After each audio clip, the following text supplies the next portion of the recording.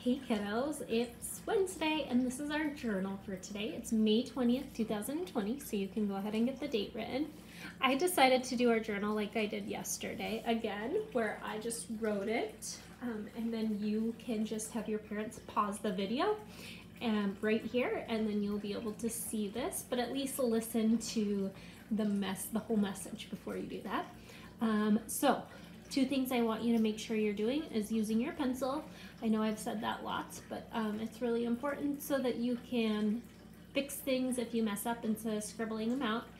And you're gonna really work on using the lines. Again, we only have two letters on this line that go all the way to the top. The rest of them only come to the belt line, which is the dotted line. Down here, we only have three letters that go all the way to the top, and then the rest only go to the belt line. So really focusing on making our letters the correct way. You have two sentences in this. The first one says, I can push, and this goes along with our science spin that I assigned for you today as an optional activity. So it was about pushing and pulling. So I want you to think of something you can push. I can push a swing. Okay, you can't use swing because I just gave that as an example. So you're not allowed to use swing. Um, there's so many other things you can push. And then I would put a period at the end of that. Okay, and then I'm going to go to my next sentence, which is I can pull a.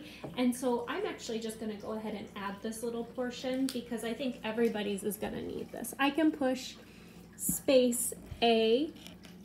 I can pull a. Okay, so let's add that portion to it.